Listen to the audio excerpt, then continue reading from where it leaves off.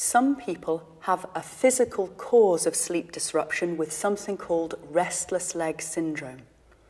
Now, this is an unpleasant feeling. People can find it hard to describe, but it's deep within the legs and it makes you want to move. It usually occurs in the evening or the first half of the night, and this leads to people lying in bed unable to keep their legs still, kicking off the duvet covers. Now, if you have this problem, there are great treatments available, but you would need to talk to your general practitioner.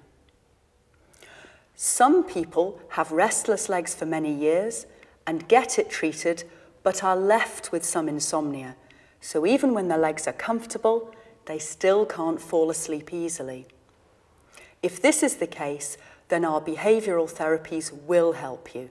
So if you found this helpful and want to know more about insomnia, why not visit www.sleepstation.org.uk.